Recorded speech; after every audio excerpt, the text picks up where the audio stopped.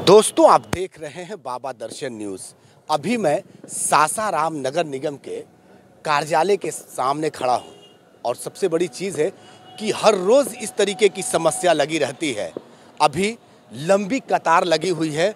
मुरादाबाद जो जाम की समस्या है, वो कई एक वर्षों से है और लगता है कि बिहार सरकार ने इस पर संज्ञान भी लिया था, जिसमें दावत का एक जगह है और दूसरे हैं कि मुरादाबाद और करहगर और नोखा। ये चार जगह की स्थिति थी। उसको देखते हुए बिहार सरकार ने पास भी किया था कि यहाँ पर बाईपास बनाना है। लेकिन मुरादाबाद एक ऐसी जगह है, जो मुरादाबाद में अगर जाम लगता है तो वो करहगर के क्षेत्र तक चली जाती है, वो जाम की समस्या।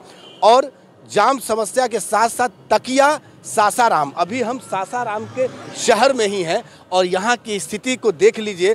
अभी दस बज के बारह मिनट हो रहा है रात्रि के और किस तरीके से ये सारी परेशानियाँ हैं हम ट्रक के लोगों से भी जानना चाहेंगे कि आखिर ये कब से खड़े हुए हैं और ये ए, समस्या जो है ए, ए, हमेशा रहती है। क्या कहेंगे? बताइए कब से जाम में फंसे हुए हैं? बताइए कब से जाम में डेढ़ घंटा हो गया भैया जी। कहाँ से आप आ रहे हैं? मैं तो यहाँ से आ रहा हूँ नबी नगर से। तो हमेशा इस तरीके का जाम लगा हम- हमेशा ऐसे लगते हैं बड़े भैया। देखिए। इनका कहना है कि हमेशा जाम की समस्या रहती है और जाम में हम लोग फंसे रहते हैं। और सबसे बड़ी चीज़ है कि सरकार जो है अनभिज्ञ है इन सब मामलों से।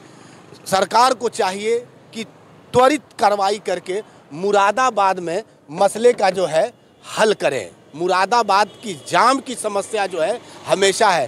पीछे बहुत सारी गाड़ियाँ हैं और मुरादाबाद से भी उधर बहुत सारी गाड़ियाँ हैं। चिंता का बात यह है कि ये गाड़ियों को जहाँ समय पर जाना चाहिए वहाँ समय पर ये गाड़ी नहीं जा रही है। अभी ड्राइवर हैं कितने बजे से आप खड़े हैं? सर अभी आ- एक घंटे हो गया। एक घंटे से जाम में फंसे हुए हैं। इस तरीके से?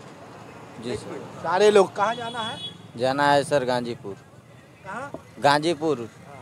गाजीपुर इनको जाना है और सारी समस्याओं को देखते हुए यहाँ जो नगर निगम के लोग हैं वो नगर निगम के लोग भी जो है मतलब ए, सबसे बड़ी चीज़ है कि वो लोग भी जो है ए, नगर निगम के लोग भी जो हैं उदासीन हैं उदासी देखने को मिलती है। अभी देखिए ये बस खड़ी हुई है और ये गाड़ी है और भारी लगन भी है। चारों तरफ़ लगन है और ट्रक है।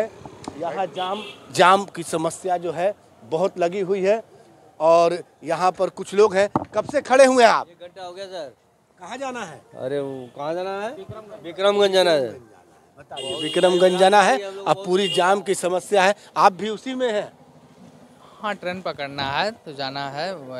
पटना जाना है। तो उसी जाम लगा हुआ है तो मतलब देखते हैं कब तक छूटता है तो आगे बढ़ेंगे जाएँगे जाने का काम करेंगे। देखिए सारे लोग जो है परेशान हाल हैं बच्चे हैं छोटे छोटे महिलाएँ हैं चारों तरफ़ जो है जाम की समस्या है और यहाँ की जो विधि व्यवस्था है बिल्कुल कभी सुधरने वाली नहीं है चूँकि यहाँ की हालत जो है हमेशा हमेशा मुरादाबाद की समस्या जो है ए, हमेशा रहती है।